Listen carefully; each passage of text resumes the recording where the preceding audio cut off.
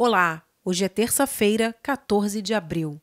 O Gabinete de Crise para Enfrentamento do Coronavírus do Estado do Rio de Janeiro divulgou mais um boletim que registra, até esta data, 3.410 casos confirmados e 224 óbitos por coronavírus.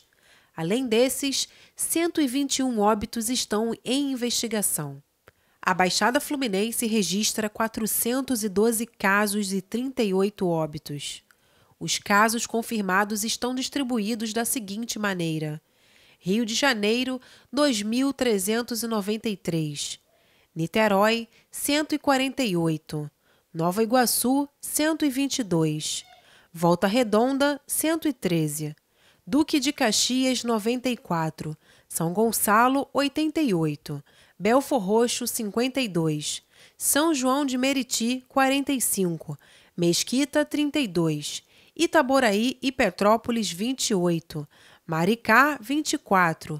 Nilópolis, 22. Magé, 21. Nova Friburgo, 17. Barra Mansa e Queimados, 13.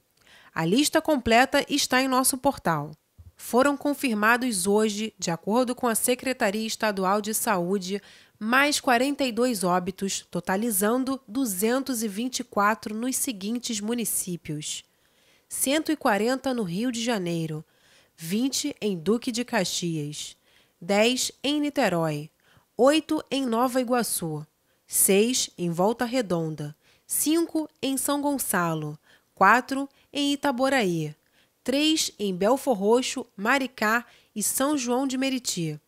Dois casos nos municípios de Guaba Grande, Itaguaí, Mangaratiba, Rio Bonito e Rio das Ostras, e um caso em Arraial do Cabo, Barra Mansa, Bom Jesus do Itabapuana, Cachoeira de Macacu, Macaé, Magé, Mesquita, Miguel Pereira, Petrópolis, Queimados, Resende e Tanguá o Brasil registrou hoje 204 mortes e mais 1.832 casos confirmados, totalizando 25.262 casos e 1.532 mortes.